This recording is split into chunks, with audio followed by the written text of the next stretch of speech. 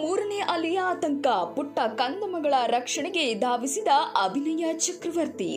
ಮನೆ ಬಾಗಿಲಿಗೆ ಬರುತ್ತೆ ಪೌಷ್ಟಿಕ ಆಹಾರದ ಕಿಟ್. ಇಂದಿನ ಇವತ್ತಿನ ವಿಡಿಯೋದಲ್ಲಿ ಅಭಿನಯ ಚಕ್ರವರ್ತಿಯ ಮುಂದಿನ ನಿಲುವಿನ ಬಗ್ಗೆ ತಿಳಿಸ್ಕೊಡ್ತೀವಿ. ಅದಕ್ಕೂ ಮುನ್ನ ನಮ್ಮ ಚಾನಲ್ಗೆ ಸಬ್ಸ್ಕ್ರೈಬ್ ಮಾಡಿಲ್ಲ ಅಂದ್ರೆ ಈ ಕೂಡಲೇ ಸಬ್ಸ್ಕ್ರೈಬ್ ಮಾಡಿ ಹಾಗೂ ಬೆಲ್ ಐಕಾನ್ ಕ್ಲಿಕ್ ಮಾಡಿ. ಹೌದು, ರಾಜ್ಯದಲ್ಲಿ ಕೊರೋನಾ ಸೋಂಕಿನ ಎರಡನೇ ಅಲೆ ನಂತರ ಮೂರನೇ ಅಲೆ ಬಗ್ಗೆ ತಜ್ಞರು ಎಚ್ಚರಿಕೆ ನೀಡಿದ್ದು ಮೂರನೇ ಅಲೆ ಮಕ್ಕಳ ಮೇಲೆ ಹೆಚ್ಚು ಪರಿಣಾಮ ಬೀರಲಿದೆ. ಸರ್ಕಾರ ಅಗತ್ಯ ಕ್ರಮ ಕೈಗೊಳ್ಳಬೇಕು ಎಂದು ತಜ್ಞರು ಎಚ್ಚರಿಕೆಯನ್ನ ನೀಡಿದ್ದಾರೆ.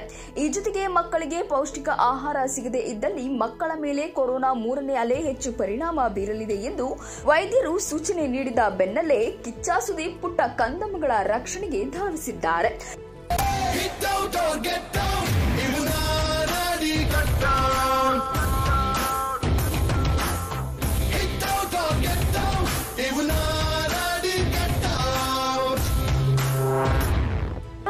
ಕೊರೋನಾ ಸಂಕಷ್ಟದ ಸಂದರ್ಭದಲ್ಲಿ ಜನರಿಗೆ ಸಹಾಯ ಮಾಡಿದ ನಟ ಕಿಚ್ಚ ಸುದೀಪ್, ಇದೀಗ ಮಕ್ಕಳ ಆರೋಗ್ಯದ ಬಗ್ಗೆಯೂ ಹೊಸ ನಿಲುವನ್ನ ತೆಗೆದುಕೊಂಡಿದ್ದಾರೆ. ಹಾಗೆ ಮಹತ್ವದ ಕೆಲಸವೊಂದಕ್ಕೆ ಮುಂದಾಗಿದ್ದಾರೆ.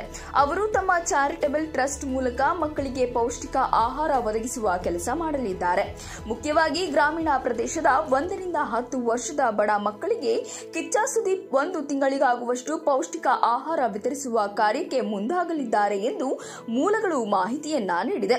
ಈ ಸೇವೆಗಾಗಿ ಹೆಲ್ಪ್ ಲೈನ್ ಕೂಡ ತೆರೆಯಲಾಗಿದ್ದು, ಈ ಸೇವೆಯ ಉಪಯೋಗ ಬೇಕಾದಲ್ಲಿ ಆರು ಮೂರು ಆರು ಸೊನ್ನೆ ಮೂರು ಮೂರು ನಾಲ್ಕು ನಾಲ್ಕು ಐದು ಐದು ನಂಬರ್ಗೆ ಕರೆ ಮಾಡಬಹುದು ಎಂದು ಟ್ರಸ್ಟ್ ಅಧ್ಯಕ್ಷ ರಮೇಶ್ ಕಿಟ್ಟಿ ಮಾಹಿತಿ ನೀಡಿದ್ದಾರೆ. ಒಟ್ಟಿನಲ್ಲಿ ಕಿಚ್ಚ ಸುದೀಪ್ ಕೆಲಸಕ್ಕೆ ಅಭಿಮಾನಿ ಬಳಗದಿಂದ ಭಾರಿ ಪ್ರಶಂಸೆಯ ಮಾತುಗಳು ಕೇಳಿಬರುತ್ತಿದೆ.